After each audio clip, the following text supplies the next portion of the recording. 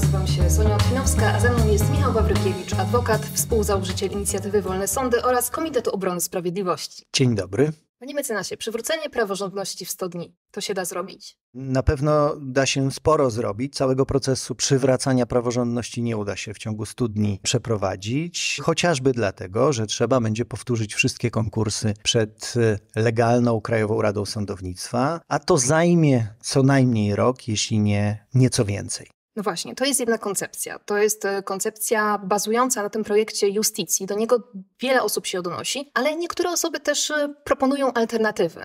Na przykład mówią o tym, żeby weryfikować każdego sędziego z osobna. To jest jak na razie jedyna koncepcja, która jest poparta projektem ustawy, przedyskutowanym w środowiskach e, zarówno obywatelskich, jak i prawniczych. I moim zdaniem jest to jedyna sensowna koncepcja, którą w tej chwili popiera absolutna większość autorytetów prawnych, profesorów, konstytucjonalistów, którzy no, obserwowali ten proces niszczenia praworządności w ciągu ostatnich ośmiu lat. Powiem, dlaczego jest to jedyna rozsądna koncepcja. Indywidualna weryfikacja neosędziów zakłada po pierwsze, że wyłączamy z tego procesu wszystkich tych uczciwych, e, wspaniałych e, sędziów, którzy przez ostatnie sześć lat, od kiedy istnieje NeoKRS, nie brali udziału w konkursach, dlatego że nie chcieli legitymizować niekonstytucyjnej NeoKRS, organu, który zgodnie z wieloma orzeczeniami sądów nie jest Krajową Radą Sądownictwa, o której mowa w artykule 186 Konstytucji. Ci wszyscy wspaniali sędziowie to są tysiące sędziów, którzy nie brali udziału w konkursach przed NeoKRS-em. Przy indywidualnej weryfikacji neosędziów nie mogliby uczestniczyć. Natomiast powtórzenie konkursów, czyli idea, pomysł, który jest forsowany przez Stowarzyszenie Sędziów Polskich Justicja, zakłada, że wszystkie konkursy zostaną powtórzone zarówno z udziałem neosędziów, którzy startowali w tych konkursach przed niekonstytucyjnymi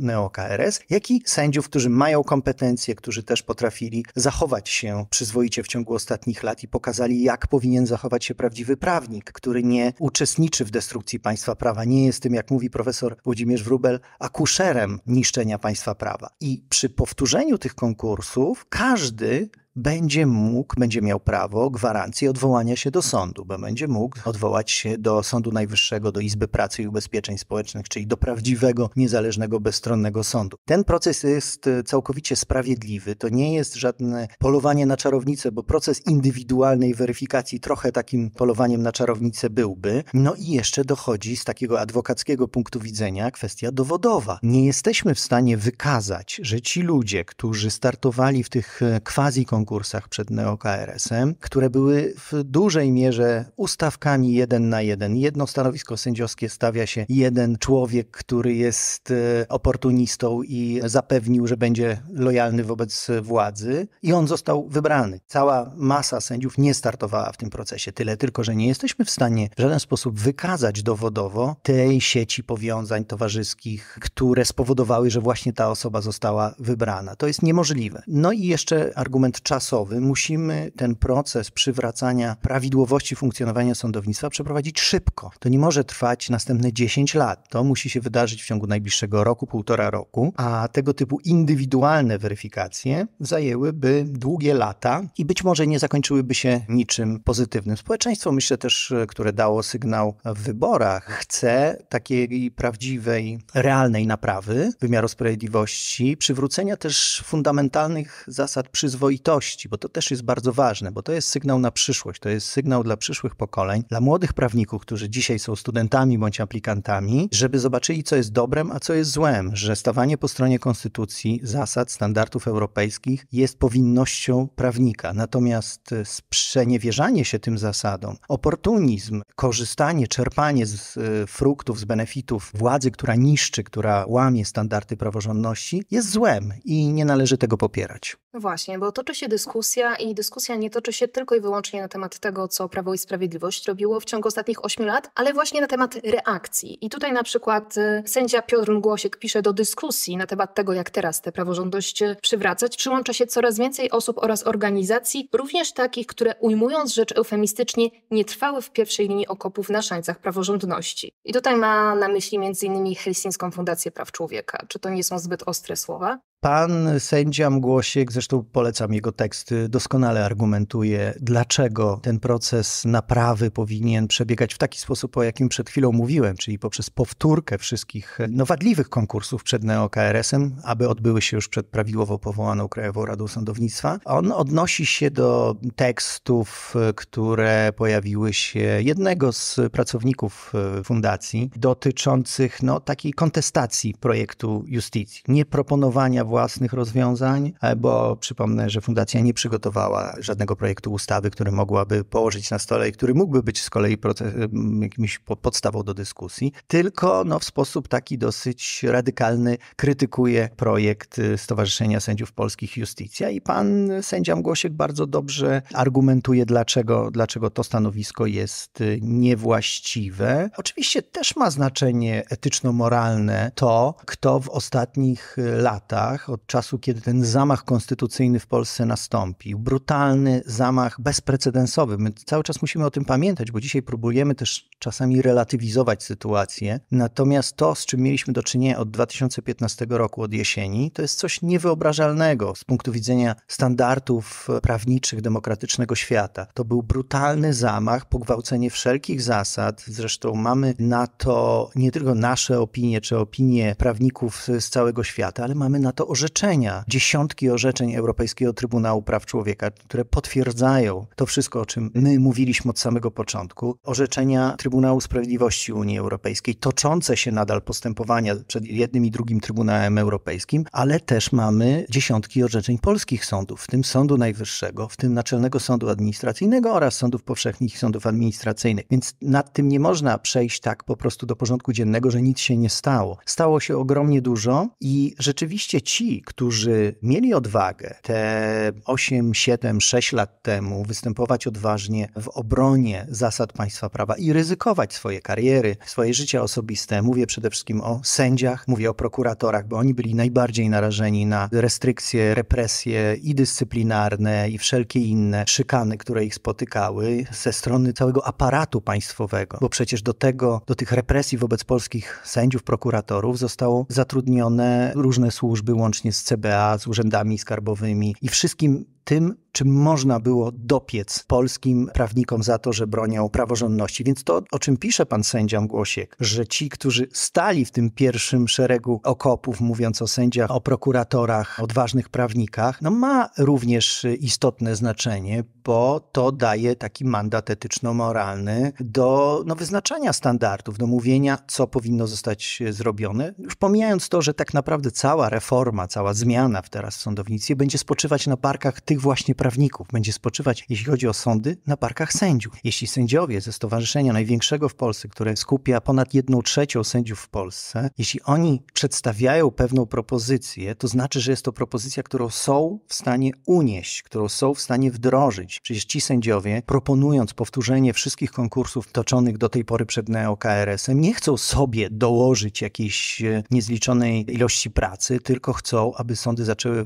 funkcjonować dobrze i przede wszystkim, abyśmy wreszcie przeszli do etapu, w którym nie spieramy się o to, czy ktoś jest sędzią, czy nie jest sędzią, czy jest orzeczenie prawidłowe, czy nieprawidłowe, tylko żebyśmy przeszli do etapu realnej naprawy sądownictwa, stworzenia nowoczesnego wymiaru sprawiedliwości na miarę XXI wieku, bo przecież o to chodzi i obywatele tego najbardziej oczekują. Oczekują, żeby po pierwsze mieć pewność obrotu prawnego, pewność wyroku, który otrzymujemy przed sądem, że to jest wyrok legalny, że nie zastanawiamy się, czy można go podważyć, czy nie z punktu widzenia formalnego. Ewentualnie podważamy go z punktu widzenia merytorycznego, czyli zaskarżamy do następnej instancji czy do Sądu Najwyższego, ale wiemy, jesteśmy pewni, że jeśli sąd działający pod godłem Rzeczypospolitej Polskiej wydaje wyrok czy postanowienie, to jest ono ważne. A następny krok to jest realna reforma, unowocześnienie, digitalizacja akt, informatyzacja sądów, wprowadzenie większej liczby asystentów dla sędziów, to jest unowocześnienie procedur, to jest czerpanie pomysłów z nowoczesnych jurysdykcji zachodnioeuropejskich, szwajcarskich, skandynawskich, niemieckich. To wszystko także proponuje Stowarzyszenie Sędziów Polskich Justicja w swoim chociażby nowym projekcie ustawy Prawo o ustroju sądów powszechnych. O tym trzeba pamiętać, bo my wszyscy, tak jak powiedziałem, musimy szybko naprawić te ramy sądownictwa, przejść do etapu unowocześniania sądów, żeby obywatele, strony procesowe były zadowolone z tych sądów, żeby naprawdę szybko, sprawnie i sprawiedliwie otrzymywać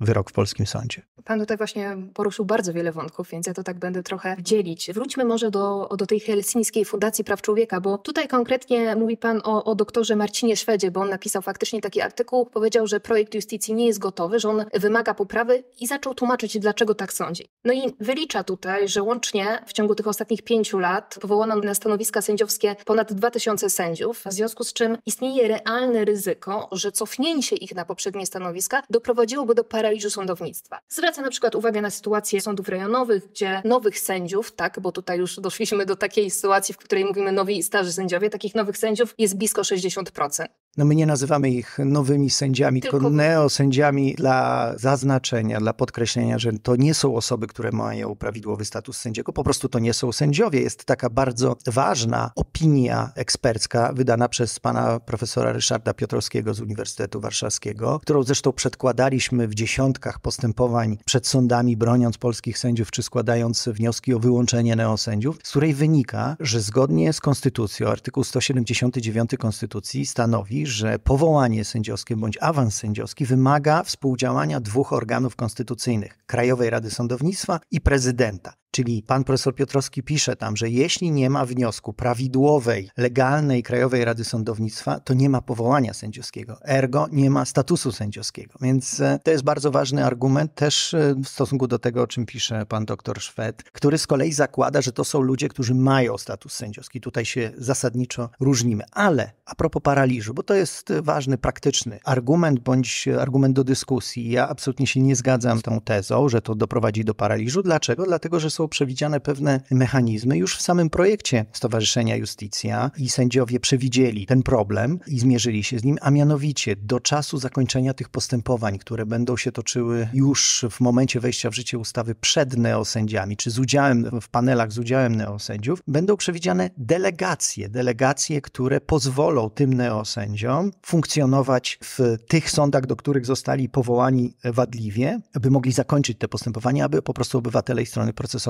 nie ucierpiały. Druga rzecz, z tego procesu powtórki konkursów są wyłączeni asesorzy. Mhm. To jest bardzo ważne, bo to jest dosyć duża liczba wśród neosędziów. Dlaczego są wyłączeni zgodnie z projektem justycji? Dlatego, że przy ich powołaniu neo-KRS nie miała w zasadzie żadnej roli selektywnej. Tam nie było konkursów, tam nie stawali różni kandydaci i w ten sposób zabierano by miejsca tym przyzwoitym, dobrym merytorycznie sędziom, tylko po prostu KRS była tak takim listonoszem, który podawał wniosek tego asesora do prezydenta do podpisu. Więc y, dlatego zostało przewidziane, że ci asesorzy, którzy zostali w ten sposób sędziami z nominacji prezydenckiej, oni zostają w systemie bez żadnej konieczności ponownego powołania. Więc to już jest duża liczba. Pozostała, tak jak powiedziałem, kwestia jest załatwiana delegacjami. No i w ten sposób przez ten rok, półtora roku, kiedy będą trwały ponowne konkursy, sądownictwo w żaden sposób nie ucierpi, obywatele nie ucierpią. To ja tylko dodam, że według wyliczeń fundacji tych asesorów jest 400, ale prawie 800 osób to osoby, które zostały powołane na swoje pierwsze stanowiska sędziowskie, w związku z czym rozumiem, że wyleciałyby zupełnie z systemu tak jak powiedziałem, nie wyleciałyby z systemu automatycznie, tylko startowałyby ponownie w konkursach. Więc to jest powtórka konkursu i to może być w procesie legislacyjnym jeszcze doprecyzowane, na przykład, że do czasu, kiedy te konkursy nie zostaną zakończone, oni będą mogli funkcjonować, aby zakończyć postępowania, aby właśnie nie prowadzić do jakiegokolwiek chaosu, paraliżu. Natomiast jeśli przegrają na końcu ten ponowny konkurs przed Krajową Radą Sądownictwa, już tą prawidłową konkursą, konstytucyjną, no to zastąpi ich ta osoba, która zostanie wybrana w tym konkursie, więc również tu nie ma problemu. No dobrze, panie mecenasie, to w takim razie jak powołać e, KRS w nowym konstytucyjnym składzie, mając na uwadze to, że taki proces legislacyjny zawsze musi się skończyć podpisem prezydenta? Pierwsza kwestia to jest jak najszybciej zakończyć funkcjonowanie tego quasi nielegalnego organu, jakim jest NeoKRS. Tutaj mamy szereg wyroków, o których już wcześniej wspominałem, które wprost mówią, począwszy od e, sprawy AK, która się zakończyła 19 listopada 2019 roku w Trybunale Sprawiedliwości Unii Europejskiej i wróciła do Sądu Najwyższego, do Izby Pracy i tenże wydał 5 grudnia 2019 roku taki fundamentalny wyrok w sprawie, która toczyła się właśnie przed Izbą Pracy na wniosek pana sędziego Andrzeja Kuby, sędziego Naczelnego Sądu Administracyjnego oraz w związku z pozwami dwóch sędziów Sądu Najwyższego, pana Krzysztofa Cesarza i pana Andrzeja Siuchnińskiego. I ta sprawa zakończyła się wyrokiem, tak jak powiedziałem, 5 grudnia 2019 roku, gdzie Sąd Najwyższy potwierdził, Krajowa Rada Sądownictwa ukształtowana na podstawie noweli z 8 grudnia 2017 roku nie jest tą Krajową Radą Sądownictwa, o której mowa w Konstytucji. To był pierwszy taki wyrok. Potem mieliśmy to samo potwierdzone w słynnej uchwale połączonych izb, a potem mieliśmy cały szereg wyroków ETPC, które nastąpiły dopiero po połączonych izbach, w których wszędzie jest to podkreślone. Mamy też uchwałę siódemkową Sądu Najwyższego z zeszłego roku, mamy wyroki NSA. Wszędzie jest to stwierdzone. Ta KRS, ta neo-KRS nie jest radą z konstytucji. W związku z czym potrzebna jest uchwała Sejmu, który powoływał indywidualnie członków neo-KRS-u, tych sędziowskich członków neo-KRS-u. Uchwała, która potwierdzi to, co wynika z wyroków, że ten organ jest nielegalny. Natomiast, i to jest pierwszy krok, dlatego że to zatrzyma ten szaleńczy proces, który trwa teraz przed neo-KRS-em bo widzimy, że neo-KRS w jakimś ogromnym tempie próbuje jak najszybciej dopompować do systemu jak największą liczbę neosędziów, zgodnie z ich dewizą, która była prezentowana i przez ministra Ziobrę, i przez sam neo-KRS wpompujmy do systemu jak najwięcej neosędziów, bo tego nie da się odwrócić. No to jest błędne założenie. Oczywiście da się to odwrócić i to, czy teraz NeoKRS wpompuje kolejnych 200 osób przy udziale prezydenta czynnym, bo niestety prezydent tu bardzo czynnie uczestniczy w tym poważnym delikcie konstytucyjnym, jakim jest powoływanie neosędziów do sądownictwa. Jeśli nawet wpompuje kolejnych 200 osób, to i tak to niczego nie zmieni, bo oni będą musieli stanąć do ponownych konkursów. Natomiast ważne jest, żeby ten proces zahamować i dlatego jest potrzebne potrzebna pilna uchwała Sejmu w tym zakresie. Natomiast, żeby powołać już prawidłową Krajową Radę Sądownictwa, która będzie funkcjonować zgodnie z zasadami konstytucyjnymi, czyli gdzie piętnastkę sędziowską będą powoływać sędziowie, potrzebna jest ustawa. Musimy mieć nową ustawę o Krajowej Radzie Sądownictwa. Ona oczywiście też jest gotowa. Ona już została nawet złożona do Sejmu w ramach porozumienia dla praworządności. Przypomnę, na przełomie 21-22 szeroka koalicja organizacji obywatelskich, w tym my, Wolne Sądy, również uczestniczyliśmy. Zaprosiła również partie demokratyczne opozycyjne do udziału w tej koalicji i ta koalicja koniec końców złożyła do Sejmu projekt ustawy. Tam jest między innymi mowa o tym, jak należy powołać prawidłowo nową konstytucyjną Krajową Radę Sądownictwa. Oczywiście Trzeba się liczyć z tym, że taka ustawa zostanie położona na stole prezydenta i trzeba się liczyć również z możliwością weta. Natomiast e, powiedziałbym, że po pierwsze, Andrzej Duda niedawno powiedział, że byłby skłonny rozważyć koncepcję powrotu do takiego prawidłowego powoływania KRS-u z e, udziałem sędziów wybieranych przez sędziów, jak również, gdyby taka ustawa została położona na stole, to pan prezydent będzie też pod ogromną presją. Państwo polskie musi mieć Krajową Radę Sądownictwa, musi mieć organ, który stoi na straży niezależności sądownictwa i który wykonuje tę praktyczną rolę, czyli powołuje i awansuje sędziów. Więc y, ja bym nie przesądzał dzisiaj, czy na pewno zawetowałby taką ustawę. No jeśli by zawetował, no to będziemy w stanie no, kryzysu sądownictwa, którym jesteśmy permanentnie i oczywiście nie ma w tej chwili żadnych nadzwyczajnych, jednoznacznych rozwiązań, które by pozwalały przeskoczyć tę przeszkodę, którą jest y, podpis prezydencki. Myślę, że nie należy się dzisiaj nad tym zastanawiać, co będzie jeśli. Trzeba po prostu prostu procedować. Sejm musi procedować taką ustawę, Senat musi procedować taką ustawę, jak najszybciej prezydentowi taką nową legislację położyć do podpisu i zobaczymy, co się wydarzy.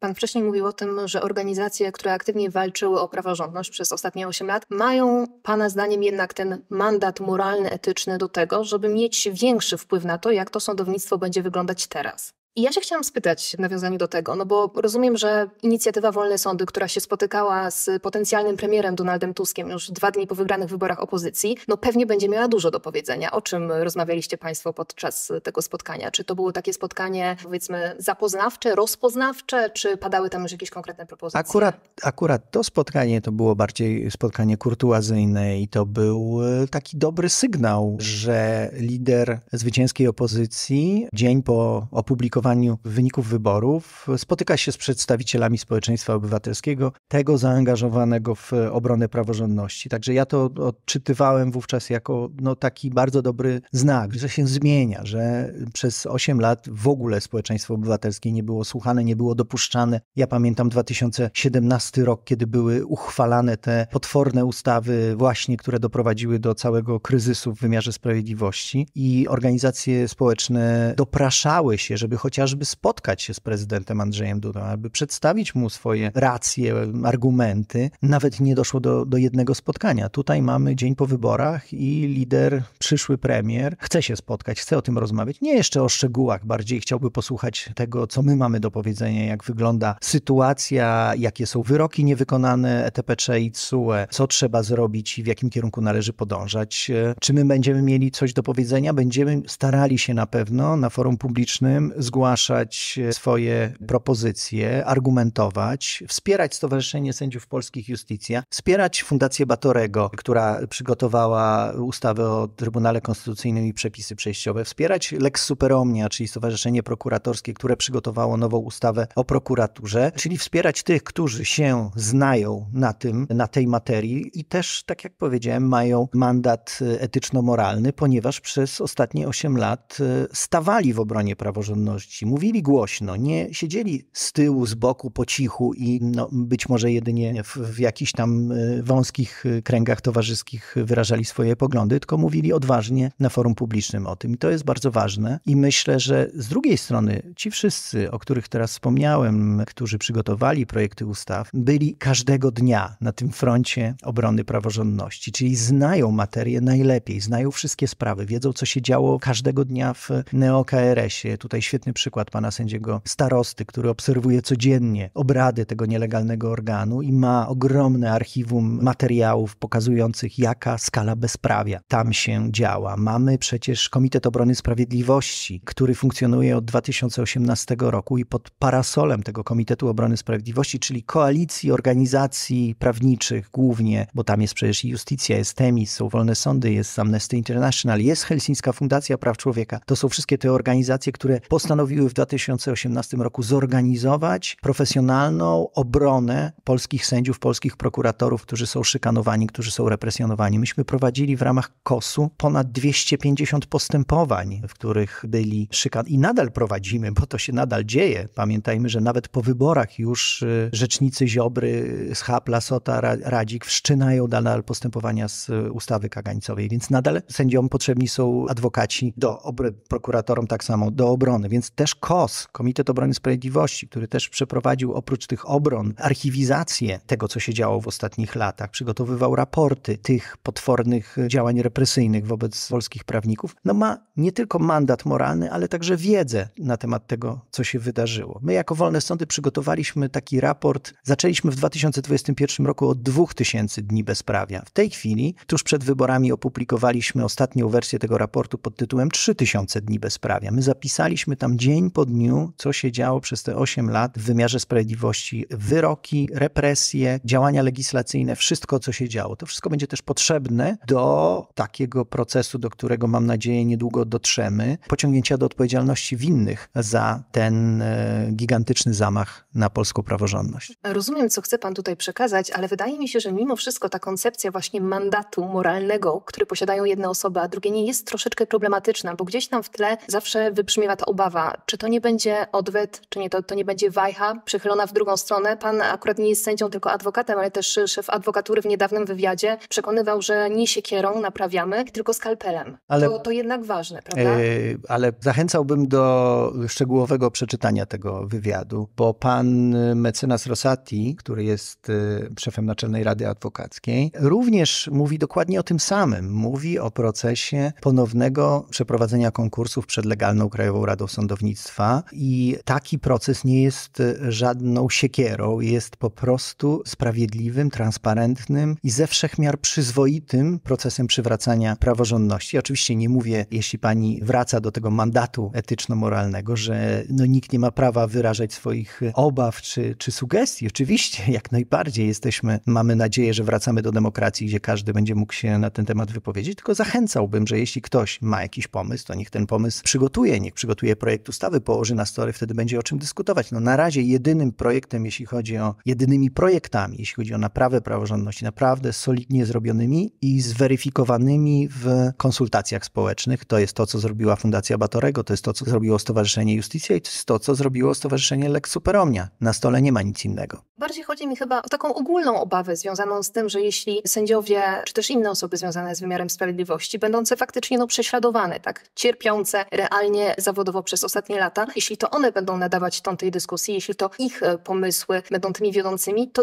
jest gdzieś tam zawsze ta możliwość, że, że może nie tyle nie dochowają rzetelności, o ile jednak gdzieś tam ta niechęć, czy to poczucie bycia pokrzywdzonym, no da o sobie znać. Nie zgadzam się absolutnie z taką tezą. Tu nie ma, ja nie widzę takiej obawy, dlatego że to, co zostało zrobione, to jest rzetelny proces i to, co zostało zaproponowane, to nie jest żadna vendetta, żadna zemsta. To jest wręcz powiedziałbym bardzo łagodny, sprawiedliwy proces uwzględniający również tych wszystkich neosędziów w procesie ponownych nominacji, bo przecież oni mogą nadal startować w konkursie. Radykalny pomysł to byłby taki, żeby ich wszystkich pozbawić prawa do wykonywania zawodu za to, że uczestniczyli w procesie zamachu konstytucyjnego i niszczenia praworządności. To byłby radykalny pomysł. On również miałby pewnie, można by nad nim dyskutować, dlatego że prawnik składając przysięgę, czy to jest sędzia, czy to jest adwokat, czy to jest prokurator, w momencie, kiedy przystępuje do wykonywania zawodu prawniczego, to zobowiązuje się także stać na straży zasad państwa prawa. A to stanie na straży wymaga też czasami poświęceń, wymaga odwagi, wymaga odłożenia na bok swoich ambicji prywatnych, osobistych i też często, jak pokazały 8 ostatnich lat, położenia na szali swojego życia prywatnego, jak wielu sędziów, którzy doznali wielu nieprzyjemności. Przecież pamiętajmy, co zrobiło Ministerstwo Sprawiedliwości. No jeśli Ministerstwo Sprawiedliwości, mówię o słynnej aferze hejterskiej, wyciągało teczki polskich sędziów po to, aby wyszukiwać kompromaty na nich i przekazywali to hejterce internetowej, która publikowała to na Twitterze, no to to jest sytuacja niewyobrażalna. To jest sytuacja, od której włos na głowie się jeży. No oczywiście moglibyśmy pewnie tutaj długo, godzinami opowiadać to, co się wydarzało w poszczególnych sądach, w poszczególnych prokuraturach, jak prokuratorzy byli karnie zsyłani na drugi koniec Polski tylko dlatego, że stoją w obronie zasad państwa prawa. I teraz, jeśli odpowiadając na Pani pytanie, czy możemy mieć do czynienia z uwagi na tą krzywdę, która się wydarzyła, z jakimś nieadekwatnym, nieproporcjonalnym podejściem do procesu naprawy, wydaje mi się, że absolutnie nie, bo to, co jest zaproponowane, to jest udział tych wszystkich ludzi, którzy uczestniczyli w procesie niszczenia prawa, w ponownych konkursach. I tu z zasady nikt nie przewiduje, że oni zostaną pokrzywdzeni. Oczywiście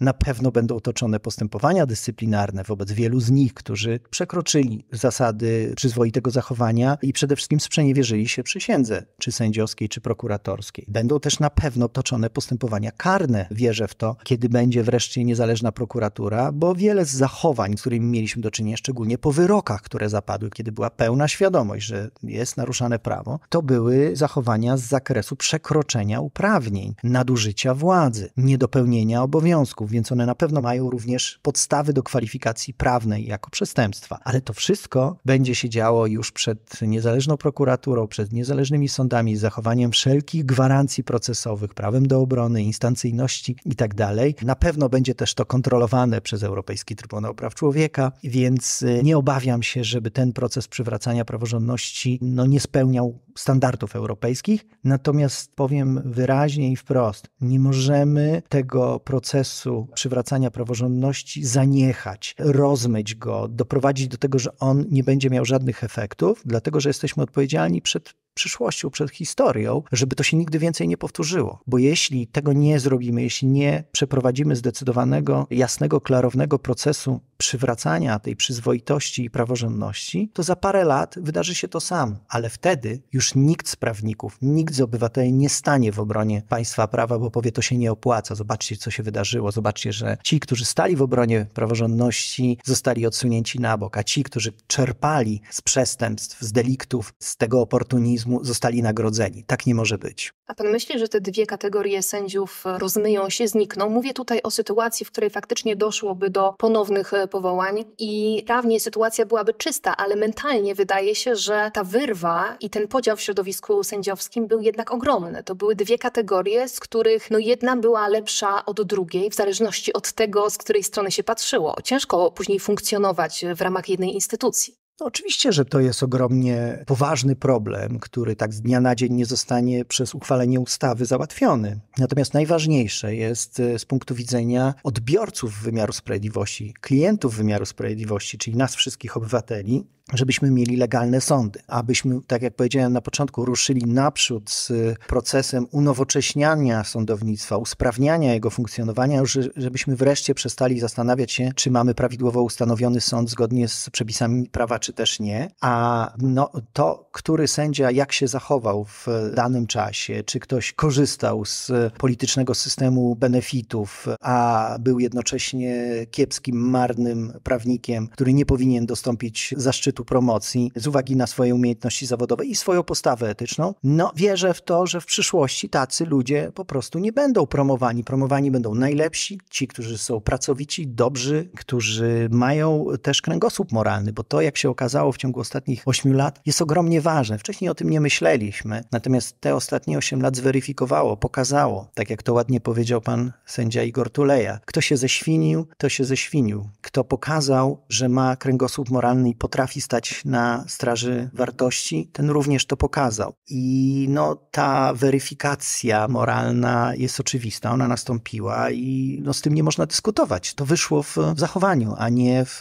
żadnych formalnych dokumentach, więc to na pewno będzie rzutowało na przyszłość. I to, o co pani pyta, czy te animozje w sądownictwie pozostaną? Oczywiście, że pozostaną przez jakiś czas, ale nie możemy się w tej chwili na tym zatrzymywać i nad tym deliberować, bo to nie jest najważniejsze. Najważniejsze jest to, abyśmy przywrócili prawidłowość funkcjonowania sądownictwa i zaufanie, autorytet wymiaru sprawiedliwości. I to nie tylko na arenie wewnętrznej, krajowej w stosunku do tych, którzy korzystają z sądów, bo to jest ogromnie ważne, ale równie ważne jest przywrócenie autorytetu polskiego wymiaru sprawiedliwości na arenie międzynarodowej, szczególnie europejskiej. Pamiętajmy, że jesteśmy członkiem Unii Europejskiej. Polskie sądy są elementem europejskiej przestrzeni prawnej, więc one muszą spełniać standardy, o których mowa w artykule 19 Traktatu o Unii Europejskiej, o którym mowa w artykule 47 Karty Praw Podstawowych. To muszą być niezawisłe, bezstronne sądy ustanowione na podstawie prawa, które zapewniają skuteczną ochronę sądową i muszą muszą zapewniać to zaufanie, które, bo przecież europejskie sądownictwo, cała europejska przestrzeń prawna funkcjonuje na zasadzie automatyzmu, zaufania. My wykonujemy wyroki, które zapadają na Cyprze, Malcie, we Francji, Niemczech czy Szwecji. I tak samo polskie wyroki muszą być automatycznie wykonywane we Włoszech, w Czechach czy w innych krajach Unii Europejskiej, a tak teraz nie jest. W tej chwili polskie sądy nie cieszą się zaufaniem z uwagi na ten gigantyczny zamach konstytucyjny, który został na polskie sądy wykonany, no i brak systemowej niezależności i bezstronności.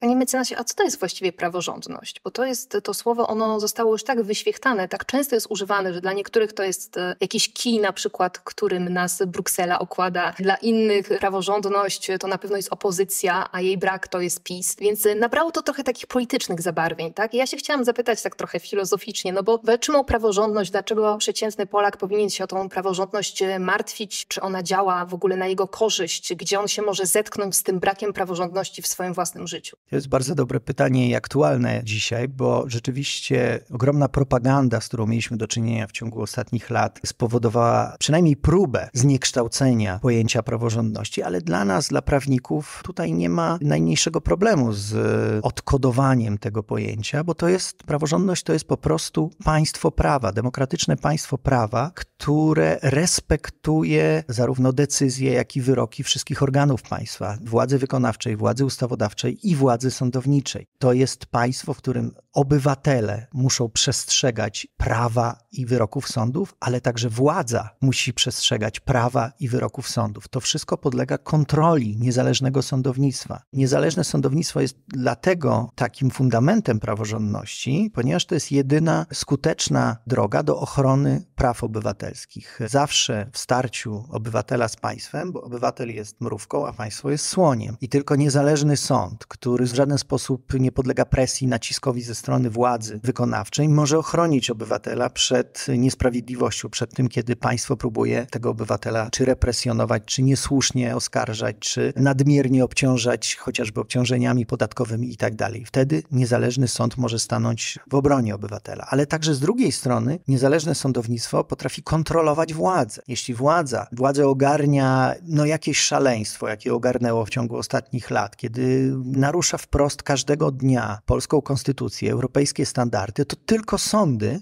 jeśli są niezależne, są w stanie to zatrzymać. Są w stanie zatrzymać takie bezprawne ruchy władzy. Od tego jest przede wszystkim Trybunał Konstytucyjny, który systemowo ma bronić konstytucyjności prawa uchwalanego przez polską władzę ustawodawczą, ale od tego też są poszczególne sądy, które mogą stosować tę rozproszoną kontrolę konstytucyjności, czyli stosować ustawę zasadniczą wprost na podstawie artykułu 8 ustęp 2 Konstytucji i w ten sposób powiedzieć w pewnych momentach władzy nie, robicie źle, działacie niezgodnie z konstytucją. Ta ustawa, którą uchwaliliście przed chwilą, powinna być wyrzucona do śmietnika, bo ona nie spełnia standardów konstytucyjnych. Czy nałożone bezpośrednio na obywatela obciążenia również nie spełniają standardów, powinny zostać zweryfikowane. I od tego jest e, niezależne sądownictwo i tym jest właśnie praworządność. Każdy z nas się przekonał w ciągu ostatnich lat, szczególnie na takich przykładach najbardziej jaskrawych, jak e, chociażby quasi wyrok e, aborcyjny Trybunału Julii Przyłębskiej, kiedy przecież tysiące nie tylko kobiet, ale w ogóle obywateli wyszło na ulicę i protestowało, bo wbrew konstytucji organ nielegalny nałożył bardzo restrykcyjne ograniczenia w zakresie praw swobód obywatelskich, demonstracje, stan nadzwyczajny. Pamiętajmy, 20 rok, y, pandemię, sytuację absolutnie oczywistą, kiedy powinien być wprowadzony stan klęski żywiołowej, czyli jeden ze stanów nadzwyczajnych określonych w Konstytucji. No i co? Nie mamy Trybunału Konstytucyjnego, nie mamy możliwości zweryfikowania działań, czy to rządu, czy innych organów władzy, także władzy ustawodawczej. No i dzieje się bezprawie. Dzieje się bezprawie. Rząd nie wprowadza tego stanu nadzwyczajnego, nikt tego nie może zweryfikować. Rząd może sobie robić co chce, może zorganizować wybory prezydenckie w trakcie pandemii, pomimo tego, że powinien trwać stan nadzwyczajny i to wszystko, wszystkie te działania powinny, takie jak wybory, powinny być przesunięte na później, na trzy miesiące po zakończeniu stanu nadzwyczajnego. Prawa przedsiębiorców. Mieliśmy przecież do czynienia z roszczeniami przedsiębiorców e, dotyczącymi obostrzeń pandemicznych, dlatego, że właśnie rząd nie wprowadził stanu nadzwyczajnego. Gdyby był stan nadzwyczajny, to mieliśmy systemowe rozwiązanie odszkodowania na uproszczonej drodze administracyjnej administracyjnej przyznawane przez wojewodę, które mogli otrzymać łatwo, prosto i skutecznie, szybko przedsiębiorcy. Tego nie było, dlatego przedsiębiorcy wystąpili do sądów. Ale z kolei wówczas, kiedy wystąpili do sądów, to premier występuje do marionetkowego Trybunału Konstytucyjnego i blokuje to, blokuje te roszczenia to są właśnie te przykłady, kiedy potrzebna jest praworządność, abyśmy mogli czuć się bezpiecznie w naszym kraju, abyśmy mogli realizować skutecznie nasze prawa. W przeciwnym razie to jest autorytaryzm. W przeciwnym razie, kiedy nie ma praworządności, to no, nasze prawa nie znaczą nic.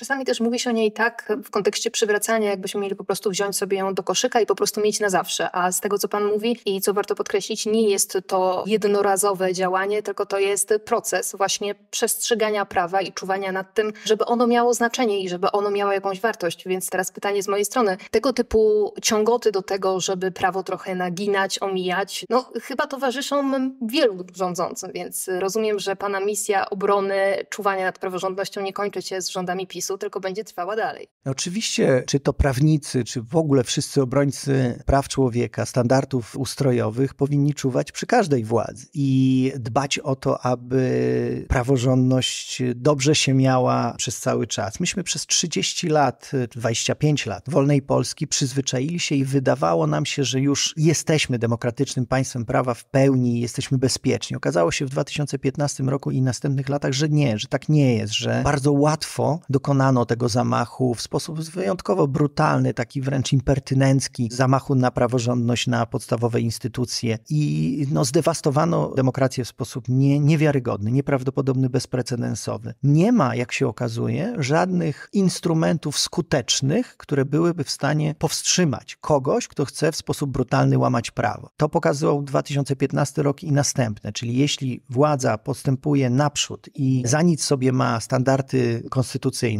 to jest trochę tak, jakby no, przestępca to bardzo ładnie pan profesor Wyżykowski, sędzia Trybunału Konstytucyjnego w stanie spoczynku zawsze mówi, że to jest trochę tak jak z drzwiami, których moglibyśmy zamontować dziesiątki zamków i rygli, ale jeśli przyjdzie ktoś z łomem i będzie chciał te drzwi wyważyć, to zawsze je wyważy. Czyli żaden bezpiecznik konstytucyjny nie zapobierze brutalnemu zamachowi na standardy ustrojowe, standardy konstytucyjne. Temu może zapobiec długo, długo długoletni proces edukacji, budowania kultury politycznej, kultury prawnej, przestrzegania ich szanowania, respektowania porządku prawnego, właśnie tej praworządności, o której przed chwilą mówiliśmy, czyli wykształcenia w społeczeństwie takiego instynktu, że przestrzeganie i szanowanie, respektowanie zasad państwa prawa służy wszystkim. Przede wszystkim służy obywatelom, bo chroni tych obywateli, wszystkich nas, czy jesteśmy młodzi, czy w nieco bardziej senioralnym wieku, wszystkich nas chroni przed